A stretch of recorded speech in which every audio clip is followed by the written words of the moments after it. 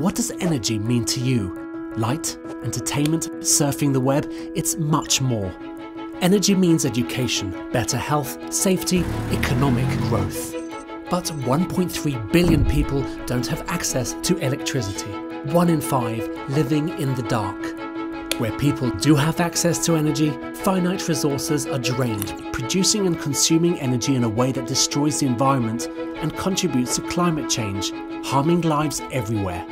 These are two different challenges, but they have one solution. Sustainable energy for all.